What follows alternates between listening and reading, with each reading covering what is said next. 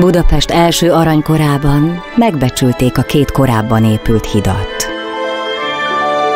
A Lánchidat még angol mérnök tervezte, az építést skót mérnök vezette, a pénzt hozzá hitelben egy görög mágnás adta.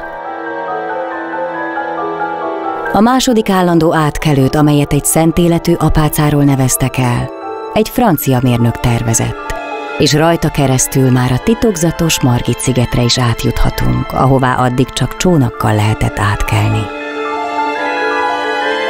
A következőt már magyar szakemberek álmodták meg. Valaha az uralkodó nevét viselte, akinek annyira tetszett, hogy a saját kezével ütötte bele az utolsó ezüst szegecset, egy gőzkalapát segítségével.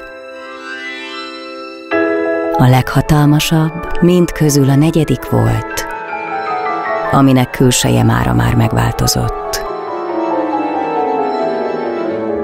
A legtöbbek kedves sportja a hidakat nézegetni, mert ez a kiállítás állandóan nyitva tart.